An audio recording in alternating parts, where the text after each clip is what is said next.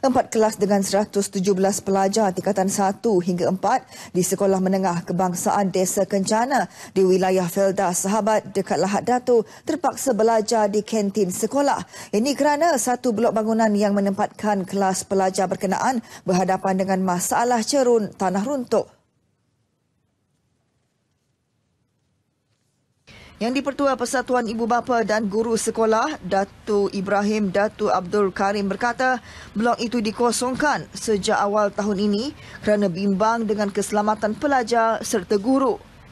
Jabatan Kerja Raya JKR Lahad Datu telah membuat pemeriksaan awalan tiga hari lepas dan mendapati cerun di belakang bangunan sekolah runtuh.